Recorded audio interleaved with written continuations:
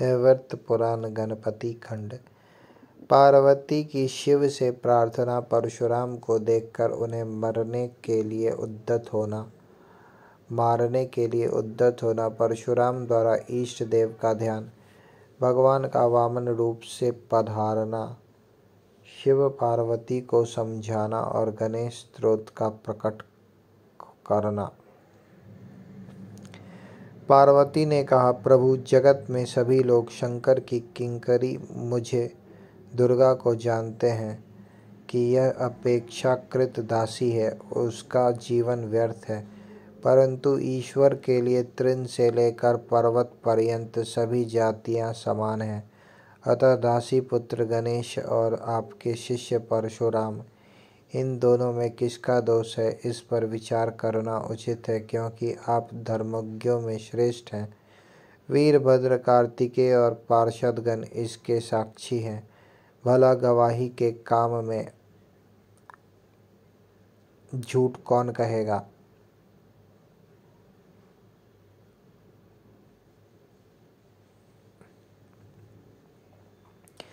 साथ ही ये दोनों भाई इन लोगों के लिए समान हैं। यूँ तो धर्म निर्णय के लिए, निर्णय के अवसर पर गवाही देते समय सत्पुरुषों के लिए शत्रु और मित्र समान हो जाते हैं, अर्थात उनकी पक्षपात की भावना नहीं रहती।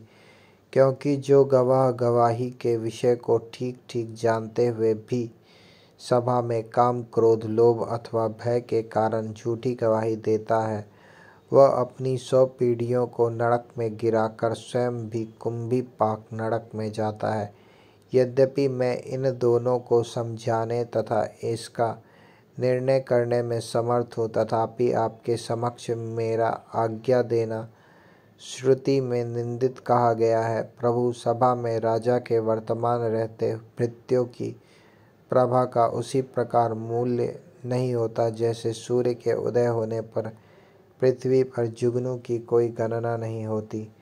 सदा परित्याग के भय से डरे हुए मैंने चीर काल तक तपस्या करके आपके चरण कमलों को पाया है। अतः जगन्नाथ, दारुण पुत्र स्नेह के कारण क्रोध, शोक और मोह के वशीभूत होकर मैंने जो कहा है उसे क्षमा कीजिए। यदि आपने मेरा परित्याग कर दिया तो उस पुत्र से क्या लाभ? क्योंकि उत्तम कुल में उत्पन्न हुए, हुई पतिव्रता नारी के लिए पति सौ पुत्रों से बढ़कर है। जो नारी नीच कुल में उत्पन्न, दुष्ट स्वभाव वाली, ज्ञानहीन और माता पिता के दोष से निंदित होती है, वह अपने पति को नहीं मानती। उत्तम कुल में पैदा हुई स्त्री अपने निंदित पतित मूर्ख, दरिद्र रोगी और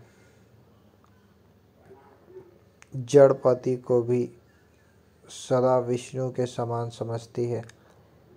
समस्त तेजस्वियों में श्रेष्ठ अग्नि अथवा सूर्य पतिव्रता के तेज की सोलहवीं कला की समानता नहीं कर सकते। महादान, पुण्यप्रद, व्रतोपवास और तप। ये सभी पति सेवा के सोलहवें अंश की क्षमता करने योग्य नहीं है। उत्तम कुल में जन्म लेने वाली स्त्रियों के लिए चाहे पुत्र हो, पिता हो अथवा सहोदर भाई हो, कोई भी पति के समान नहीं होता। स्वामी से इतना कहकर दुर्गा ने अपने सामने परशुराम को देखा। जो निर्भय होकर शंभु के चरण कमलों की सेवा कर रहे थे। तब पार्वती उनसे बोली, पार्वती ने कहा, हे महाभाग राम तुम ब्रह्म वंश में उत्पन्न हुए हो। तुम्हारी बुद्धि सद, सत का विवेचन करने वाली है। तुम जमदग्नि के पुत्र और योगियों के गुरु इस महादेव के शिष्य हो। सती साध्वी रेणु का जो लक्ष्मी के अंश से उत्तम कुल में उत्पन्न हुई है, तुम्हारी माता है। तुम्हारे नाना वे विष्णु भक्त और मामा उनसे भी बढ़कर वैष्णव हैं। तुम मनु के वंश में उत्पन्न हुए राजा रेणु का, रेणुक के तोहित्र हो। साधु स्वभाव वाले सूरवीर राजा विष्णु यश का, यशा तुम्हारे मामा हैं। तुम किसके दोष से ऐसे दुर दर्श हो गए हो। इस अशुद्धि का कारण मुझे ज्ञात नहीं हो रहा है, क्योंकि जिनके दोष से मनुष्य दूषित हो जाता है, तुम्हारे वे सभी संबंधी शुद्ध मन वाले हैं। तुमने करुणा सागर, गुरु और अमोघ फरसा पाकर पहले क्षत्रिय जाति पर परीक्षा करके पुनः गुरु पुत्र पर परीक्षा की है। कहाँ तो श्रुति में गुरु को दक्षिणा देना उचित है। यों सुना जाता है, और कहा, तुमने गुरु पुत्र के दांतों को ही तोड़ दिया। अब उसका मस्तक भी काट डालो। शंकर के वरदान तथा अमोघ वीर्य फरसे से तो चूहों को खाने वाला सियार सिंह और शार्दुल को भी मार सकता है। जितेंद्रिय पुरुषों में श्रेष्ठ गणेश तुम्हारे जैसे लाखों करोड़ों जंतुओं को मार डालने की शक्ति रखता है। परंतु वह मक्खी पर हाथ नहीं उठाता। श्री कृष्ण के अंश से उत्पन्न हुआ यह गणेश यह गणेश तेज में श्री कृष्ण के ही समान है। अन्य देवता श्री कृष्ण की कलाएँ हैं। इसी से इसकी अग्र पूजा होती है। यो कहकर पार्वती क्रोधवश उस, उन परशुराम को मारने के लिए उद्यत हो गई। तब परशुराम ने मन ही मन गुरु को प्रणाम करके अपने इष्ट देव श्री कृष्ण का स्मरण किया। इतने में ही दुर्गा ने अपने सामने एक अत्यंत बौने ब्राह्मण बालक को उपस्थित देखा। उसकी कांति करोड़ों सूर्यों के समान थी। उसके दांत स्वच्छ थे। वह शुक्ल वस्त्र शुक्ल यज्ञोपवीत दंड, छत्र और ललाट पर उज्जवल तिलक धारण किए हुए था। उसके गले में तुलसी का माला पड़ी थी। उसका रूप परम मनोहर था, मुख पर मंद मुस्कान थी और वह रत्नों के बाजूबंद कणकन और रत्नमाला से विभूषित था। पैरों में रत्नों के निपुण थे। मस्तक पर बहुमूल्य रत्नों के मुकुट की उज्जवल छटा थी और कपोलों पर रत्न निर्मित दो कुंडल झलमला रहे थे, जिससे उसकी विशेष शोभा हो रही थी। वह भक्तों का ईश और भक्त वत्सल था तथा भक्तों को बाएँ हाथ से स्थिर मुद्रा और दाहिने हाथ से अभय मुद्रा दिखा रहा था। उसके साथ नगर के हँसते हुए बालक और बालिकाओं का समूह था और कैलाशवासी आबाल वृद्ध सभी उसकी ओर हर्षपूर्वक देख रहे थे। उस बालक को देखकर पुत्रों तथा भृत्यों सहित शंभु ने घबराकर भक्तिपूर्वक सिर झुकाकर प्रणाम किया। तत्पश्चात दुर्गा ने भी दंड की भांति भूमि पर लेटकर नमस्कार किया। तब बालक ने सबको अभिष्ट प्रद आशीर्वाद दिया। उसे देखकर सभी बालक वह के कारण महान आश्चर्य में पड़ गए। तदंतर शिव जी ने भक्तिपूर्वक उस षोडशोपचार समर्पित करके उस परिपूर्णतम की वेदोक्त विधि से पूजा की और फिर सिर झुकाकर कान्व शाखा में कहे हुए स्त्रोत द्वारा उस, उन सनातन भगवान की स्तुति की। उस समय उनके सर्वांग में रोमांच हो आया था। पुनः जो रत्न सिंहासन पर आसीन थे और अपने उत्कृष्ट तेज से जिन्होंने सबको आच्छादित कर रखा था, उन वामन भगवान से स्वयं शंकर जी कहने लगे। शंकर जी ने कहा ब्रह्मन जो आत्मा राम है, उनके विषय में कुशल प्रश्न करना अत्यंत विडंबना की बात है क्योंकि वे स्वयं कुशल के आधार और कुशल अकुशल के प्रदाता हैं। श्री कृष्ण की सेवा के फलोदय से आज आप जो मुझे मुझे अतिथि रूप से प्राप्त हुए हैं, इससे मेरा जन्म सफल और जीवन धन्य हो गया। कृपा सागर परिपूर्णतम श्री कृष्ण लोगों के उद्धार के लिए पुण्य क्षेत्र भारत में अपनी कला से अवतीर्ण हुए हैं, जिससे अतिथि का आदर सत्कार किया है। उसने मानो संपूर्ण देवताओं की पूजा कर ली, क्योंकि जिस पर अतिथि प्रसन्न हो जाता है, उस पर स्वयं श्री हरि प्रसन्न हो जाते हैं। समस्त तीर्थों में स्नान करने से सर्वस्व दान करने से, सभी प्रकार के व्रतोपवास करने से, संपूर्ण यज्ञों में दीक्षा ग्रहण करने से, सभी प्रकार की तपस्याओं से और नित्य नैमित्तिक आदि विविध कर्मानुष्ठानों से जो फल प्राप्त होता है, वह अतिथि सेवा की सोलहवीं कला की समानता नहीं कर सकता। अतिथि जिसके गृह से निराश एवं रुष्ट होकर चला जाता है उसका पुण्य निश्चय ही नष्ट हो जाता है। श्री नारायण कहते हैं, नारद, शंकर के वचन सुनकर जगतपति स्वयं श्रीहरि संतुष्ट हो गए और मेघ के समान गंभीर वाणी द्वारा उनसे बोले। विष्णु ने कहा शिव जी आप लोगों के कोलाहल को जानकर कृष्ण भक्त परशुराम की रक्षा करने के लिए इस समय मैं श्वेत द्वीप से आ रहा हूँ। क्योंकि इन कृष्ण भक्तों का कहीं अमंगल नहीं होता। गुरु के कोप के अतिरिक्त अन्य अवस्थाओं में मैं हाथ में चक्र लेकर उनकी रक्षा करता रहता हूँ। गुरु के रुष्ट होने पर मैं रक्षा नहीं करता, क्योंकि गुरु की अवहेलना बतला, बलवती होती है, जो गुरु की सेवा से हीन है। उससे बढ़कर पापी दूसरा नहीं है। अहो, जिसकी कृपा से मानव सब कुछ देखता है वह पिता सबके लिए सबसे बढ़कर माननीय और पूजनीय होता है। वह मनुष्यों के जन्म देने के कारण, जनक रक्षा करने के कारण पिता और विस्तीर्ण करने के कारण कला रूप से प्रजापति है।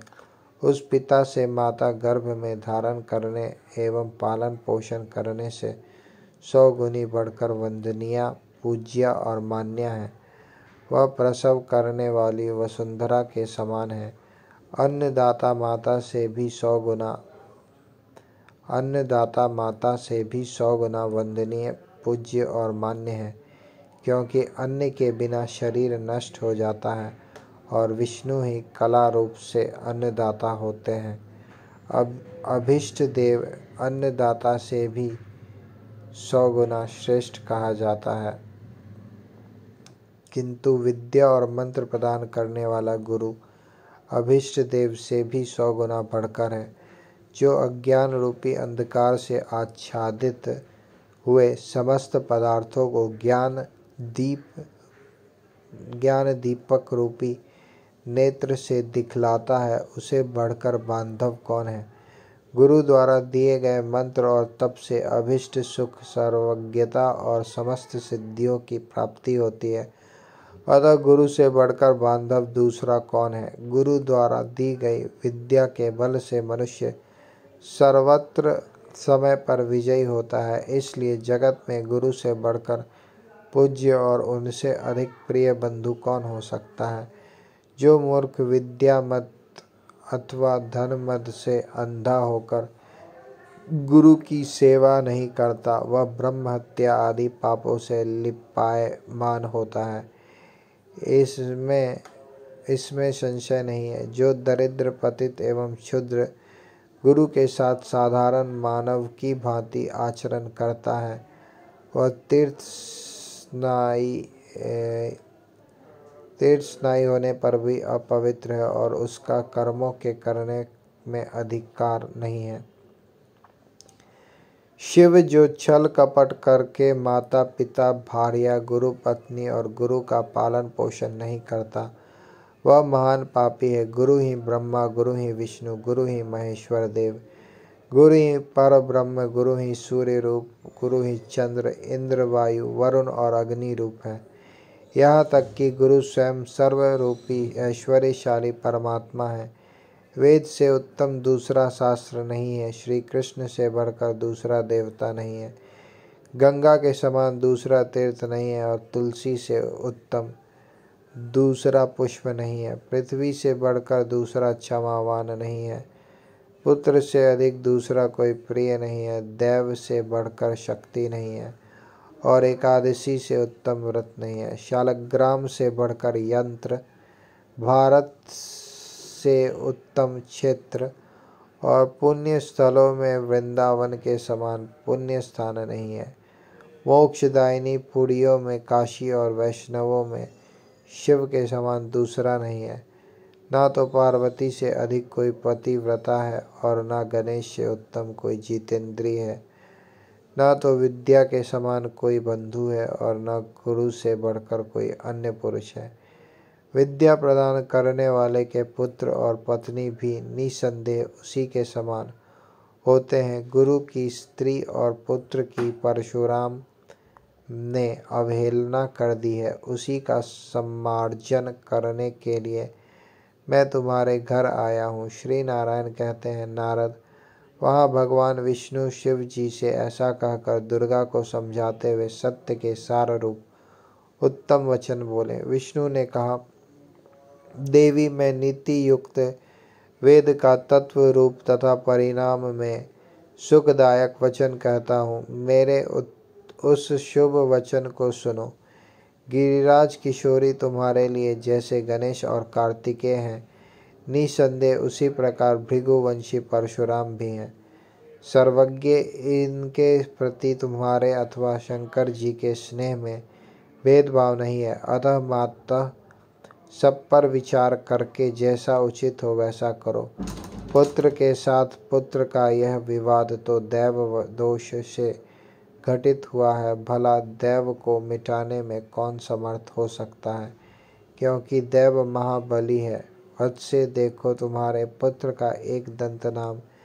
वेदों में विख्यात है, वरान ने सभी देव उसे नमस्कार करते हैं। ईश्वरी सामवेद में कहे हुए अपने पुत्र के नामाष्टक स्रोत को ध्यान देकर श्रवण करो।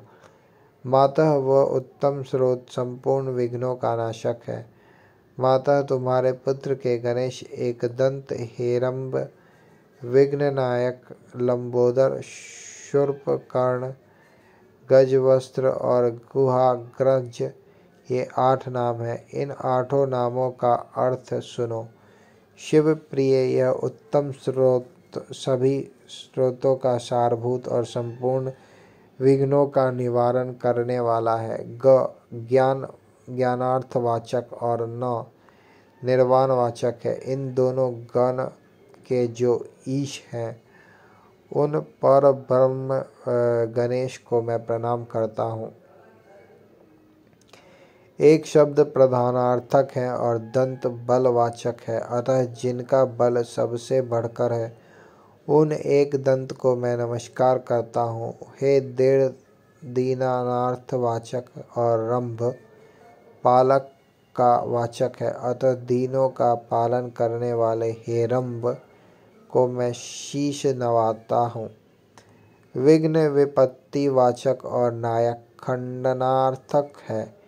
इस प्रकार जो विपत्ति के विनाशक हैं उन विघ्न नायक को मैं अभिवादन करता हूँ पूर्व काल में विष्णु द्वारा दिए गए नैवेद्यों तथा पिता द्वारा समर्पित अनेक प्रकार के मिष्ठानों के खाने से जिनका उदर लंबा हो गया है उन लंबोदर की मैं वंदना करता हूँ जिनके कर्ण सर्पोकार विघ्न निवारक, शुर्पाकार विघ्न निवारण के हेतु संपदा के दाता और ज्ञान रूप हैं। उन कर्ण को मैं सिर झुकाता हूँ, जिनके मस्तक पर मुनि द्वारा दिया गया विष्णु का प्रसाद रूप पुष्प वर्तमान है और जो गजेंद्र के मुख से युक्त हैं।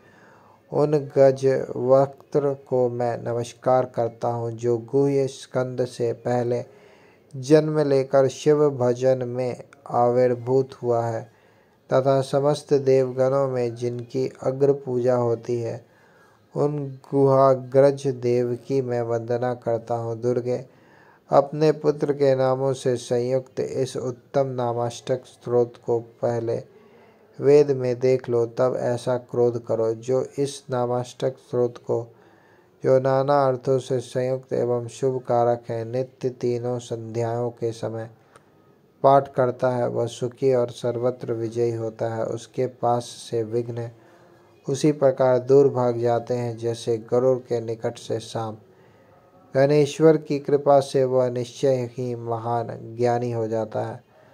पुत्रार्थी को पुत्र और भाड़िया की कामना करने वाले को उत्तम स्त्री मिल जाती है तथा महामूर्ख निश्चय ही विद्वान और श्रेष्ठ कवि हो जाता है।